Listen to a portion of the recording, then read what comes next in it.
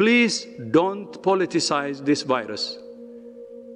It exploits the differences you have at the national level.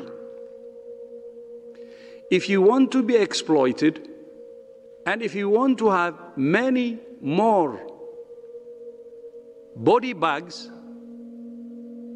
then you do it. If you don't want many more body bags, then you refrain from politicizing it.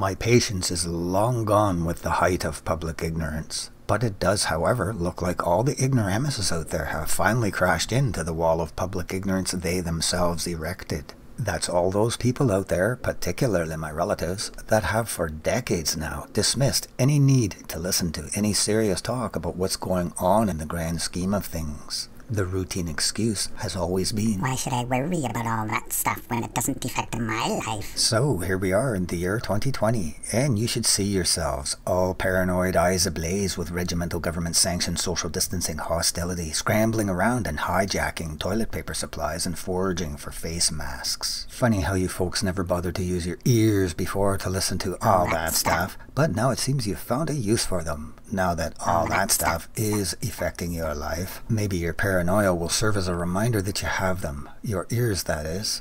Yes, I'm talking to all you people that have always made it a point to ignore everything and never cared a monkey's fart to take anything seriously, whether it be within your own individual work surroundings or in the grander sense of things.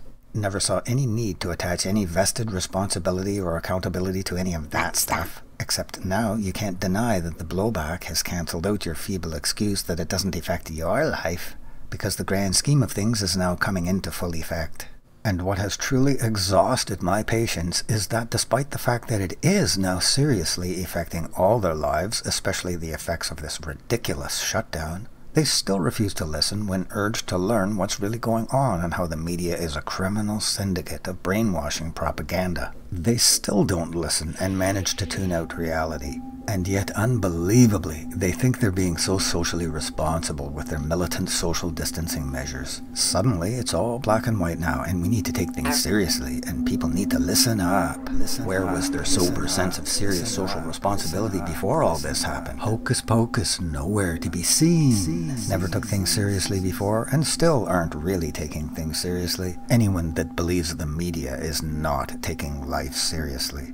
As long as this sadistic relationship of ignorance remains fastened and fixed in orbit, the worst monsters of the world will be left unchecked to continue their ugly exploitation and destruction. And there's a stellar difference between ignorance and intentional ignorance, and the latter group must be on some kind of sedative that enhances their ignorance so that they can remain blissfully ignorant even after being informed and that's the group I despise the most. All one has to do is browse the comment section on any of the mainstream media websites or YouTube videos or talk to people on the street, and one quickly discovers the dreadfully appalling level of public ignorance. It is terrifying. The level of public ignorance is absolutely terrifying.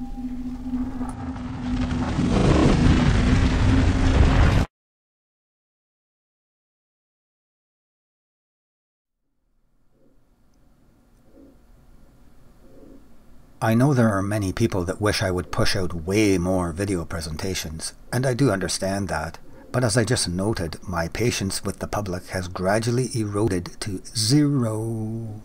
For a while I wasn't sure if I would ever bother doing any more videos, short of one that's just unleashing an insurmountable wrath of rage.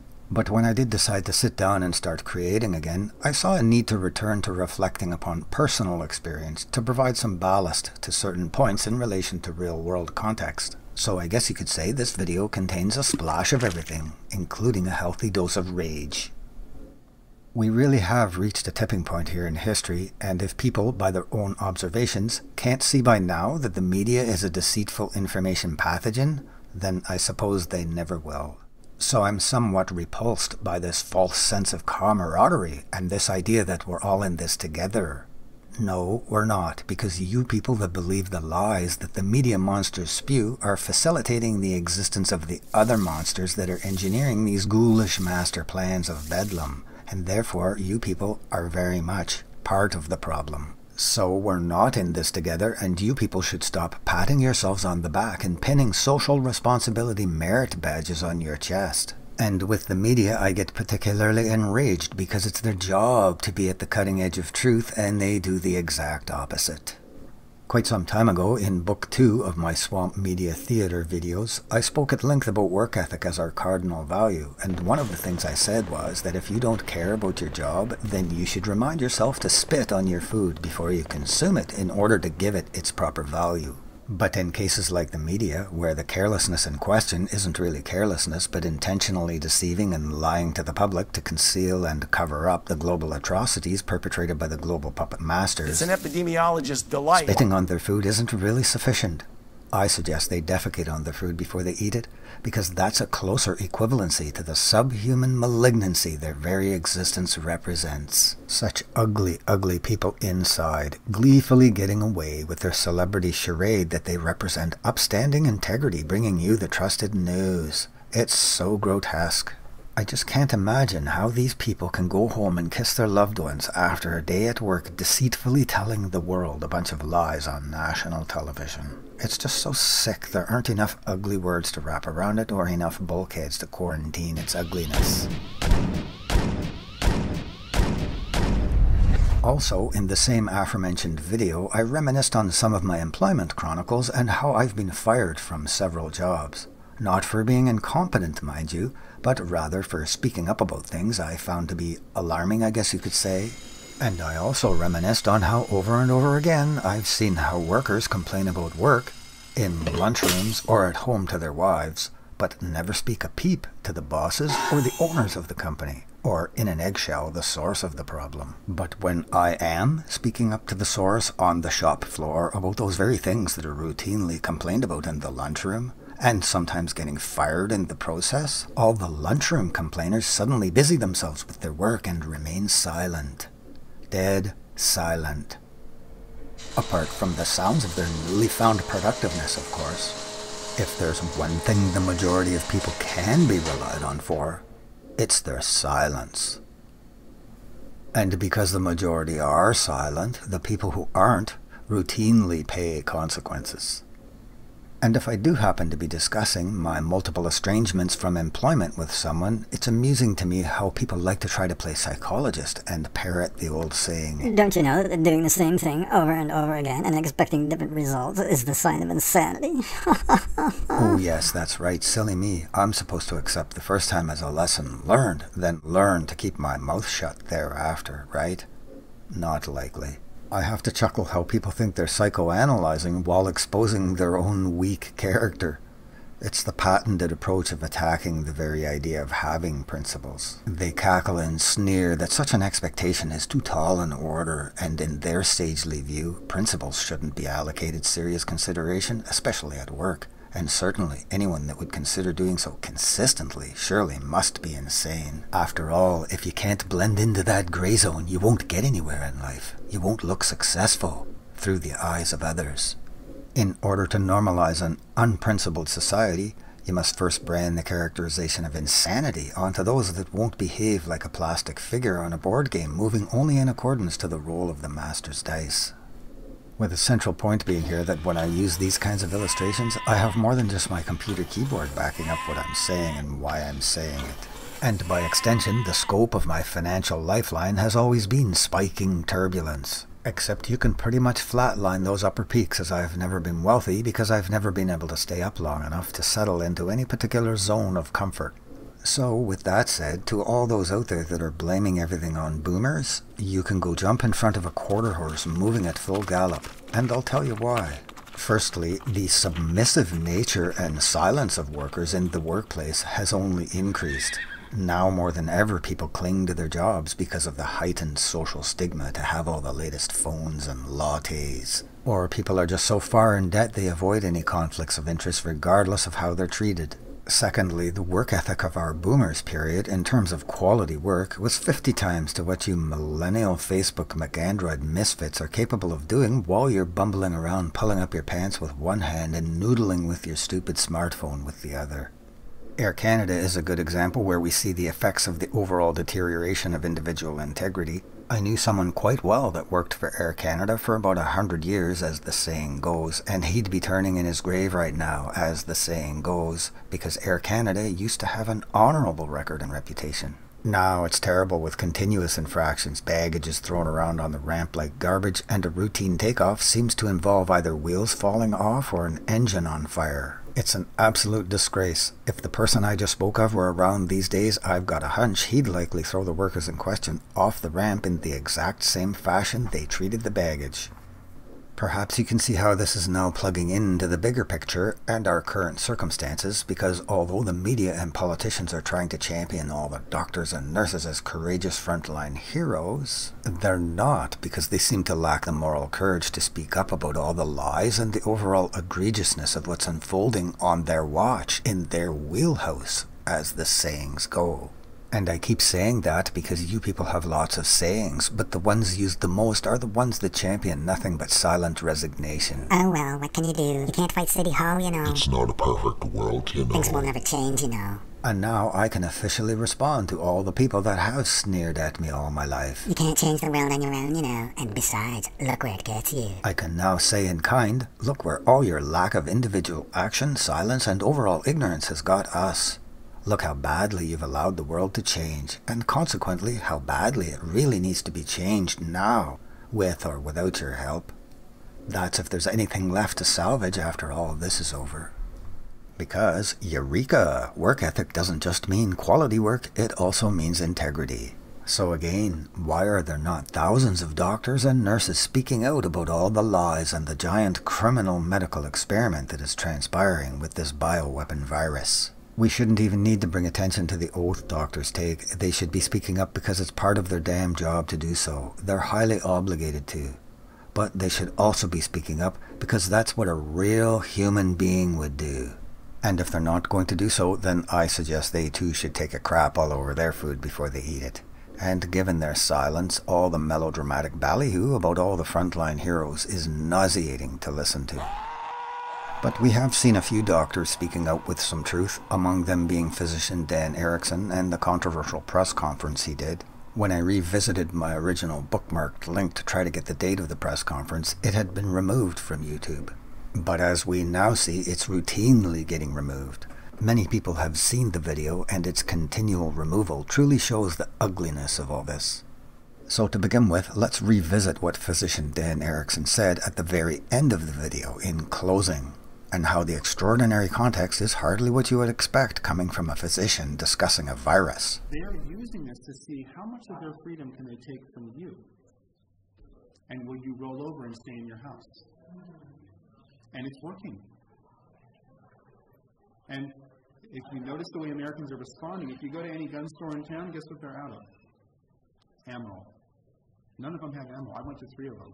They said thousands of rounds have been bought. Why? People are mad. They're starting to post on my Facebook with their AKs going, let's roll. So, what I'm saying is, let's avoid all that. Because if you, if you stomp on our freedoms, that has one ending, and it's violence. Well, thank you guys. You see, they didn't like his bottom line. They didn't like to hear a doctor telling it like it is. And throughout the entire interview, I noted that he repeated the statistic of millions of cases, small amount of death on four separate occasions.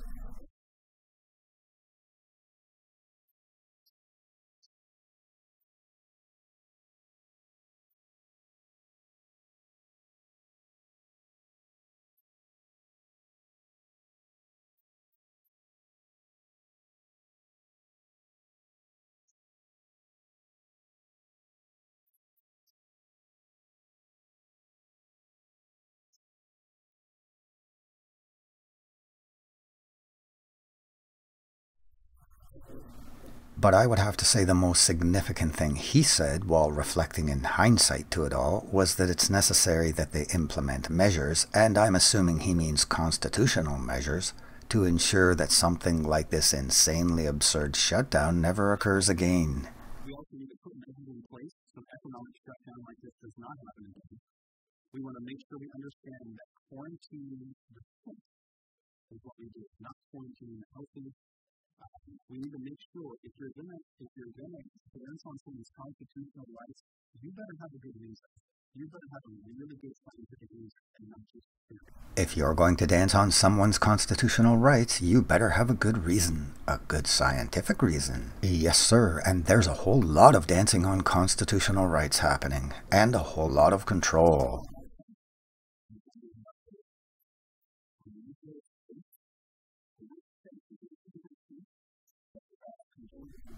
And it was highly disturbing to hear how deviously they're trying to manipulate the body bag count to spread fear and justify their social engineering actions.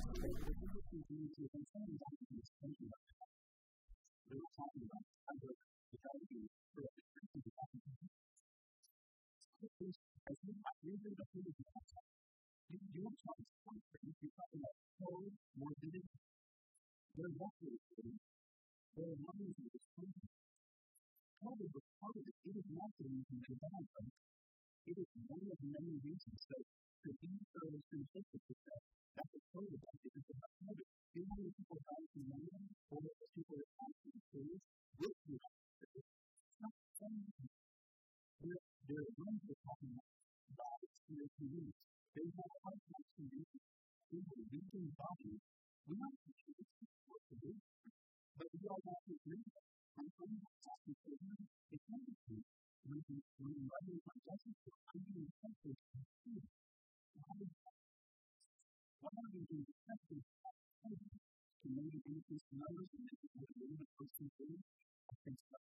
He looked straight into the camera when he said that, with a look that kind of says the gig is up. And when asked if people are worrying too much, he responds,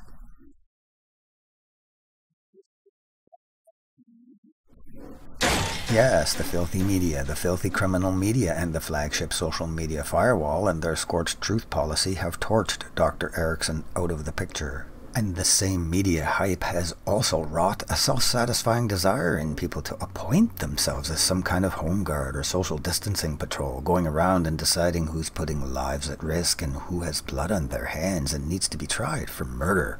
That's precisely the racket they're trying to lay on Trump.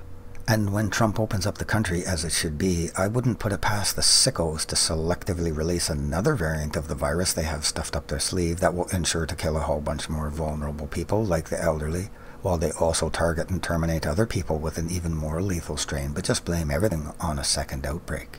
And then the media can pounce on Trump and call him a mass murderer that needs to be impeached. And we need to shut everything down again and quarantine indoors.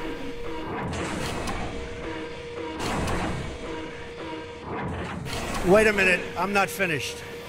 I'm not finished, fake news. One of the main reasons I still fully support Trump is that he's calling out the media for what it is fake news. They are the guardians of neither truth nor people. They are the enemy of the people and the guardians of crime and war, spitting on truth. In a way, you could say Trump is playing the only trump card he really has, calling out the media for the joke that it is. I have pointed out before that Trump knows he can't come right out and spill the overall gruesomeness of what's going on because he knows there would be prompt and crippling repercussions on the stability of society. Much like how they've destroyed the economy with their little virus. All he can do is drop little hints and let the people do the rest.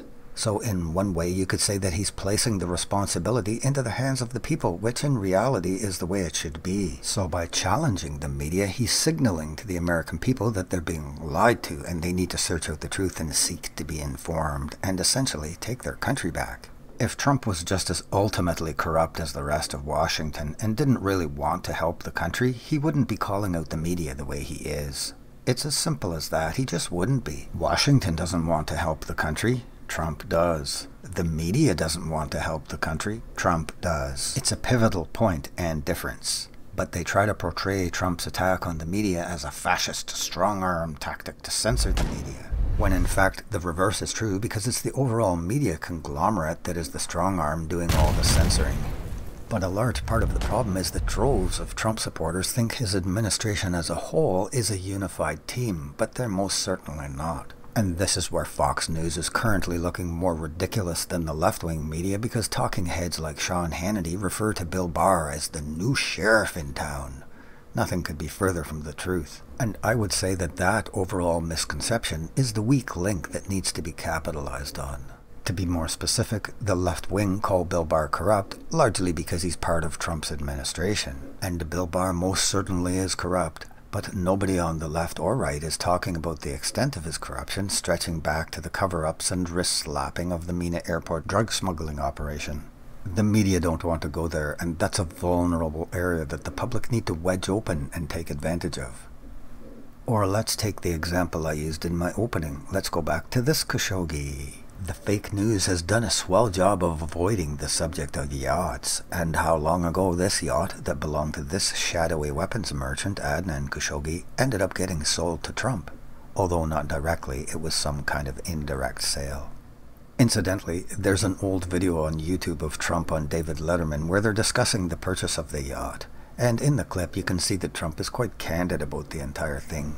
But this miserable bitch here would just love to be blabbing about that past transaction with her sourpuss face of total condemnation. This one too. But they can't because their media overlords won't let them go there because for one, they know Trump is not involved with all the dark weapons for drugs and overall opium consortium, and two, the whole weapons for drugs thing is the forbidden territory they like to keep in the shadows. And furthermore, it would destroy the bullshit narrative that Jamal Khashoggi was an innocent journalist and not a CIA cutout frontman to run guns and drugs and organize gangs. The bullshit narrative that Jamal Khashoggi was a guardian of truth. when Jamal Khashoggi was allegedly killed by the Saudis, the media were very careful to tiptoe around the subject of Adnan Khashoggi, lest it let the cat out of the bag.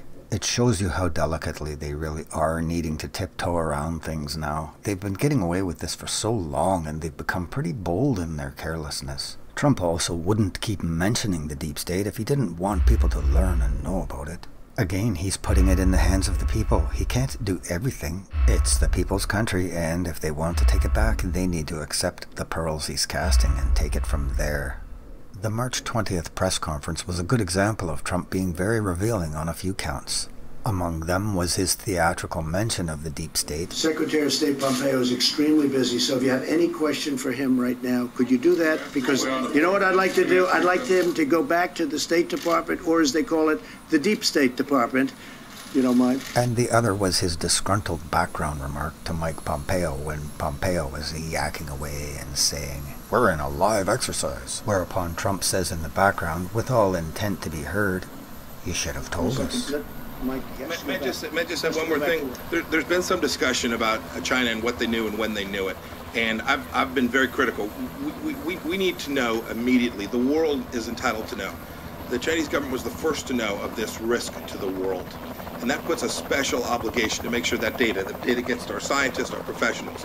This is not about retribution. This matters going forward. We're in a, we're in a live exercise here to get this right. We, we need to make sure that even to, we, That's again a very subtle way he's telegraphing to the American people that he's dealing with people that are not telling him what's really going on and not really on his side. And you can tell by Trump's body language that he's not at all comfortable with most of the people he's surrounded by because he knows they're nothing but mad scientists percolating more than just lies. Speaking of which, there was the big Fauci facepalm thing that was widely circulated, but Fauci managed to weasel out of it by saying he was choking on a throat lozenge. And Trump retweeted this bimbo's tweet because he wanted to draw attention to it. And it truly amazes me how easy it is for them to sweep aside the words deep state as harmless or nutty conspiracy. In Canada, we have to listen to monsters like this spewing their lies twice, once in English and then again in French. But I really can't think of anything more grotesque than seeing a snake like this covering up and smoothing over acts of biowar perpetrated under the auspices of government against the public while speaking in a bedtime story time cadence. telling you that this is the new normal and feeling anxiety is okay because he promises to be your savior that's going to keep you safe. Yuck.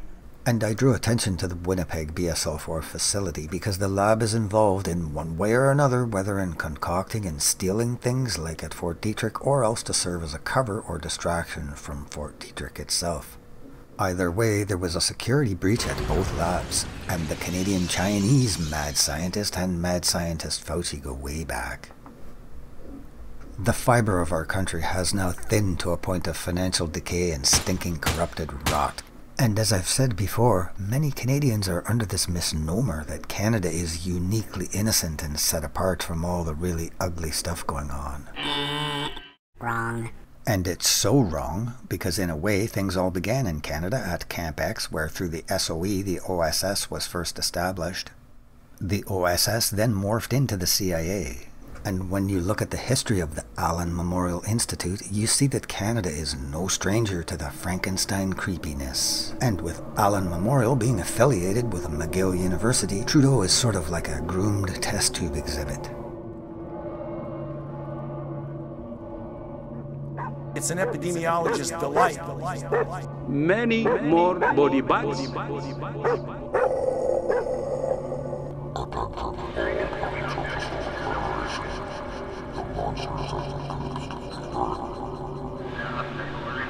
It's an epidemiologist's delight. I mean, if you want to, if you want to specialize in epidemiology, you just got to read this. And you'll, if you have any children, you want them to go into epidemiology, tell them the SARS story. They'll all go into epidemiology.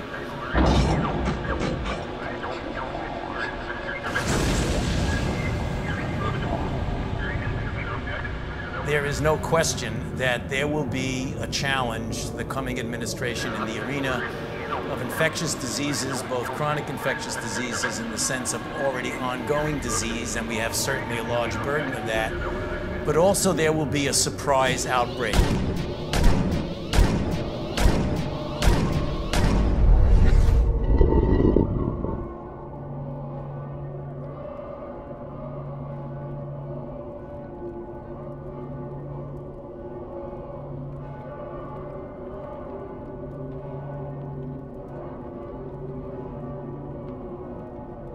I'm not finished. I'm not finished, fake news.